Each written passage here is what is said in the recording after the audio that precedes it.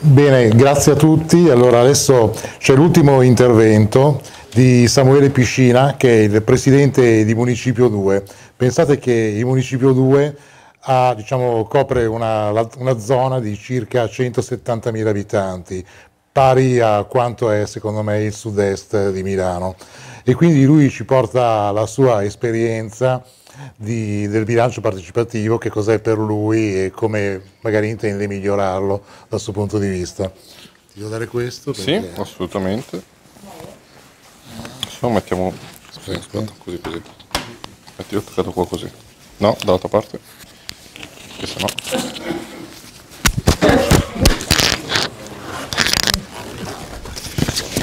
Dai. Ok. qualcosa dietro? Sito sì.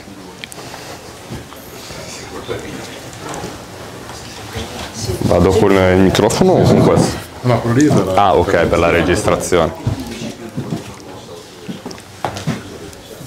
Intanto che recuperano il sito. Eh, buonasera a tutti e grazie per l'invito. Eh, mi fa molto piacere essere qui questa sera. Vi chiedo scusa per il ritardo, ma ho avuto una seduta della eh, del consiglio di municipio fino a due, pochi minuti fa, quindi ho fatto una corsa incredibile e sono riuscito ad arrivare prima che, che finissima perché ci tenevo particolarmente ad essere presente.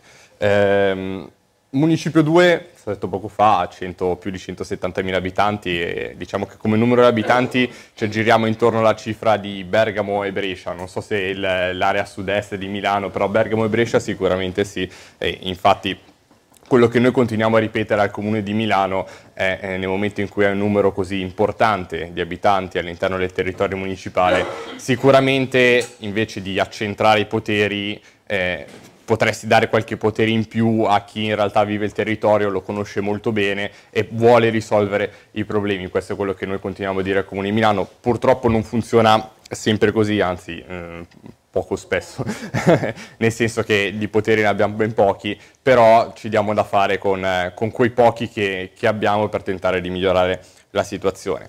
Bilancio partecipativo. I, noi non abbiamo avuto un'esperienza, lo ammetto, voglio fare una premessa, noi abbiamo avuto un'esperienza positiva all'interno del Comune di Milano con bilancio partecipativo. Anzi, dobbiamo ringraziare eh, Fondazione Cariplo, Fondazione di Comunità, so che c'è qualcuno qui presente, perché spesso e volentieri anche su degli errori fatti in passato dal Comune di Milano sono riusciti a intervenire per tentare e portare avanti eh, dei progetti. Uno di questi è sicuramente quello della piscina del Trotter, che è un progetto che era uscito dal bilancio partecipativo come vincitore appunto del bilancio partecipativo per quanto riguarda il Municipio 2, che il Comune di Milano non aveva la sostenibilità economica per portare avanti, ma fortunatamente Mamma Cariblo, perché noi ormai la chiamiamo così, fortunatamente ci sono loro che ci danno una grande mano e riescono a portare avanti che, quelli che sono i progetti. Noi abbiamo avuto due bilanci partecipativi, uno nel 2015 e uno nel 2017 per quanto riguarda il 2015, io ho portato anche un elenco di quelli che sono i progetti che hanno vinto. Allora, per un costo di 550.000 euro doveva essere fatta la piantumazione di alberi e la copertura del chiosco del Parco Francarame. Ecco, qui dobbiamo ringraziare S. Lunga che ha sponsorizzato la realizzazione della tettoia di questa copertura del chiosco, è un chiosco all'interno di un parco, perché grazie al municipio, e quindi non tanto il comune, ma il municipio si riuscirà a fare una sponsorizzazione, S. Lunga metterà i soldi e questo diciamo, intervento del, già eh, doveva essere realizzato per il bilancio partecipativo del 2015, quindi ben quattro anni fa, forse probabilmente sarà finalmente realizzato. Però capite già che eh, solo partendo così, eh, già un intervento di quelli che avevano vinto, che era stato assicurato, il, i cittadini finalmente possono partecipare al bilancio partecipativo e decidere direttamente le opere che devono essere realizzate, che è una cosa positivissima, per la quale io personalmente sono assolutamente D'accordo, però in primis deve esserci la copertura economica, deve esserci una struttura adeguata che faccia dei progetti e li manda avanti in tempi seri, perché altrimenti giustamente i cittadini si sentono presi in giro. E questo è assolutamente da evitare, quindi adesso non so se c'è qualcuno di qualche comune eh, che vuole portare avanti questa esperienza, però sicuramente quello che il primo suggerimento che vi posso dare è fate molta attenzione alla struttura, alla copertura economica, perché eh, i costi comunque so, si, sono, si lievitano e questo è un dato di fatto. Nella pubblica amministrazione qualsiasi imprevisto fa lievitare i costi costi che comunque già all'interno della pubblica amministrazione sono alti rispetto al privato, quindi un calcolo adeguato fatto per la realizzazione con dei progetti fatti preliminarmente in modo tale da capire quanto realmente può costare è assolutamente fondamentale. La stessa cosa sta, ehm, si sta verificando anche per la realizzazione di un intervento di una piantumazione di alberi, cose che i comuni mh, solitamente fanno tranquillamente abbiamo dovuto portare avanti noi come municipio nei confronti dei comuni di Milano, grazie comunque a un appalto che ci ha aperto con una ditta che fa la manutenzione ordinaria e straordinaria del verde, per far sì che questi alberi vengano piantumati. Ora, il problema lì qual era? Dobbiamo avere degli alberi, perché dal bilancio partecipativo è uscito, gli alberi devono essere di una certa dimensione, perché gli alberi piantati all'interno di questo parco Francarame erano degli alberi che erano piccoli, erano giovani, dovevano crescere nel tempo. Quindi il comune risponde no, ma noi non possiamo, ha vinto il bilancio partecipativo, ma noi non possiamo mettere gli alberi eh, di una certa dimensione. Ok, non possiamo mettere una certa dimensione, però li mettiamo più piccoli. Allora i cittadini poi non andava bene perché giustamente vogliono delle zone d'ombra anche loro. E si era creato questo prequel qua che eh, obiettivamente non aveva permesso di eh, mandare avanti quello che era il bilancio partecipativo. Fortunatamente siamo intervenuti, abbiamo trovato un accordo noi tra i cittadini e l'assessorato all'ambiente e l'assessorato a partecipazione del Comune di Milano, sembra che teoricamente adesso possa andare avanti la piantumazione di questi alberi, una piantumazione che, ripeto, comunque il Comune di Milano fa normalmente tutti i giorni e quindi non si capisce per quale motivo ci sia voluti quattro anni per trovare una soluzione per portare avanti un'opera così semplice del bilancio partecipativo. Le case dell'acqua, dovevano essere installate delle case dell'acqua, cosa che penso abbiate anche qua nei dintorni, all'interno dei parchi eh, del, del municipio. Mm, la risposta da parte di MM è stata non se ne parla fino al 2020 perché comunque non ci sono i soldi per eh, acquistare queste case dell'acqua, che per carità io mh, mm, non metto in dubbio che sia vero, è sicuramente così, però bisogna dirlo prima ai cittadini se non c'è la copertura economica per acquistarle e per fare questo tipo di intervento, non a posteriori, perché, ripeto, altrimenti vengono presi in giro. Realizzazione di orti in via Ro, anche quelli totalmente bloccati, doveva essere fatto un, un bel intervento anche di riqualificazione lungo il naviglio Martesana, quindi in un'area molto di pregio dove dovevano essere poi messi a bando la realizzazione dei vari orti e anche in quel caso ci ritroviamo in una situazione con eh, nessun progetto ancora realizzato, il tutto completamente fermo. È stata fatta la pulizia delle sponde della Martesana, quello è stato fatto grazie alla polizia locale e grazie ad AMSA che si sono messi insieme e, e hanno lavorato affinché fosse fatta un'operazione di questo tipo. Eh, non è durata molto perché poi gli incivili li troviamo in qualsiasi comune per carità, però quello diciamo che era costo zero e quindi si è riusciti a farlo senza nessun tipo di problema.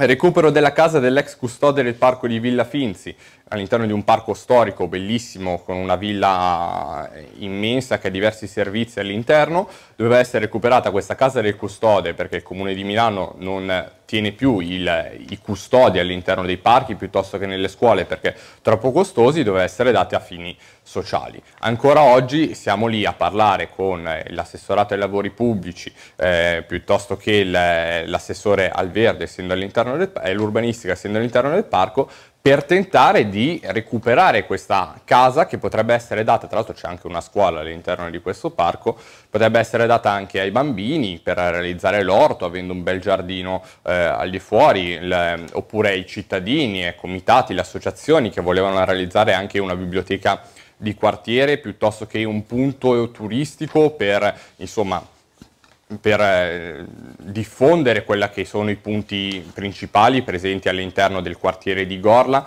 e in particolare all'interno di un parco che, ripeto, è storico. una nuova pista ciclabile con segnaletica in via Porto Corsini fino al ponte di Greco lungo via Breda, non se n'ha nessuna notizia possibile immaginabile, ma sotto un certo punto di vista, beh, adesso parlo da politico e, e non da eh, diciamo istituzionale, forse è meglio così perché era un po' complicato realizzarla avendo dei passaggi anche sotto i ponti molto stretti e che quindi non ci sarebbe stato lo spazio per mettere una pista ciclabile. Quindi poi ci si scontra anche con quelli che sono i progetti realizzabili e quelli che sono i progetti irrealizzabili. I progetti irrealizzabili però, ripeto, un consiglio ai comuni, ditelo subito ai cittadini se non sono realizzabili, perché nel momento in cui lo approvate e dite ha vinto il bilancio partecipativo e poi non viene realizzato, eh, eh, siamo sempre alla solita solfa. Ehm, qui L'ultimo intervento del 2015 era la realizzazione dell'area dell'ex piscina del Parco Trotter, che grazie a Fondazione Cariplo sono stati trovati i fondi, c'è un bando che mi sembra che sia stato già assegnato se non ricordo male e quindi prossimamente immagino che inizieranno i lavori. Questo è ancora il 2015, capite che sul 2015 è stato portato a casa sicuramente il, la riqualificazione dell'ex piscina del Parco Trotter, è stata portata a casa la pulizia delle sponde, però tutto il resto eh, obiettivamente non, sono, non, è stato portato a casa. Eh, I costi erano 500.000 euro più, eh, scusa li recupero, più un milione eh, per quanto riguarda la, eh, la parte dell'ex piscina del Parco Trotter, era stato quantificato in questo modo. Nel frattempo in cui non è stato realizzato il bilancio partecipativo 2015, il Comune di Milano ha pensato bene di fare il bilancio partecipativo 2017. Un bilancio partecipativo con dei costi sicuramente ridotti, hanno abbassato di molto quelle che erano le cifre del primo bilancio partecipativo perché si sono accorti anche loro che era insostenibile, era impossibile portarlo avanti e poi così tanti interventi, con così tante progettazioni e così pochi soldi obiettivamente era improponibile portarlo avanti. Un bilancio partecipativo del 2017 alla quale stiamo vedendo oggi nel 2019 i primi incontri per tentare di capire come realizzare l'opera. Ha vinto un progetto su via Padova, eh, un progetto che eh, in pratica vede una riqualificazione di alcuni incroci di alcune aree, in particolare una davanti all'anagrafe eh, di Via Padova all'interno del Municipio 2 di Milano. È chiaro che adesso abbiamo fatto il primo incontro, ovviamente abbiamo fatto notare quelle che sono alcune difficoltà rispetto al progetto che avevano fatto i cittadini, in primis automobili.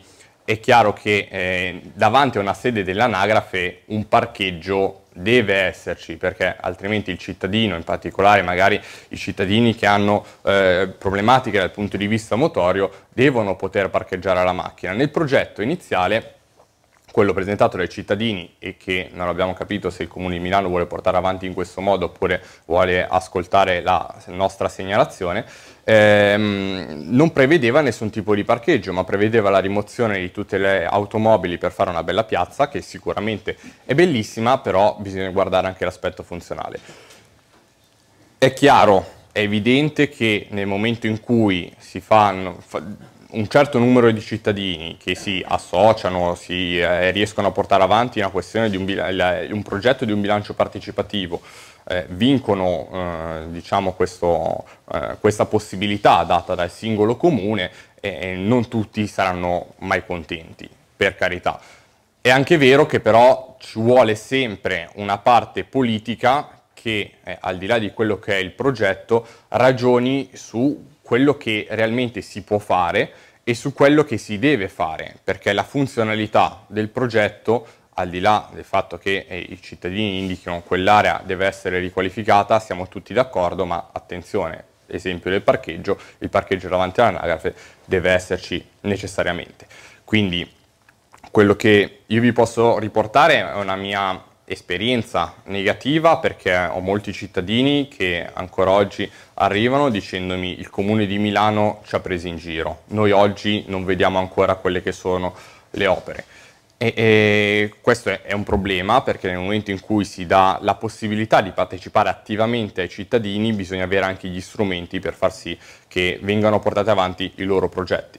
Quindi facciamo molta attenzione, i progetti prima ancora che vengano messi a votazione devono essere sicuramente concordati a prescindere con l'amministrazione comunale perché se poi vince un progetto e l'amministrazione comunale lo disfa totalmente non ha nessun senso logico. Allora, prima ancora di portare avanti quelli che sono i progetti, di metterli a votazione sulle varie piattaforme online, sicuramente un tavolo tecnico con chi ha realizzato il progetto e le, le, le, quindi le realtà territoriali e il comune deve essere fatto in modo tale da non creare delle aspettative che poi non vengono rispettate. Nel momento in cui poi viene approvato il progetto, si porta a votazione e vince quel progetto, sicuramente devono esserci le coperture economiche e il, la possibilità di fare un progetto che venga realizzato in tempi brevi, che poi lo sappiamo che la pubblica amministrazione non ha tempi così brevi, però adesso parliamo del 2015, ci ritroviamo nel 2019 e eh, anche quelle cose più piccole, le più semplici che potevano di fatto essere realizzate, e ci troviamo ancora nella situazione di dover aspettare cercando una soluzione alternativa come municipio perché il Comune di Milano non riesce ad attuare eh, queste, queste, opere, se non grazie a aiuti esterni come Cariplo o S. Lunga. Quindi la, la situazione è questa. Penso che sia una sconfitta per la democrazia eh, diretta mh, il, um, eh, ciò che ha provato a portare avanti il Comune di Milano per mancanza di organizzazione sicuramente, sono convinto che altri comuni, magari comuni più piccoli, eh, riusciranno nell'intento, ma anche perché probabilmente in un territorio più piccolo, meno vasto, l- vedendo anche le esperienze negative degli altri, sicuramente riusciranno a imparare da quelle situazioni. Il Comune di Milano obiettivamente non, ha avuto tante difficoltà e continua ad avere tante difficoltà. Io ho potuto riportarvi solo la mia esperienza diretta, credo in, eh, in questa possibilità perché ci credo fermamente, ci credo però bisogna avere una buona organizzazione, quello sicuramente sì, ci vuole. Grazie.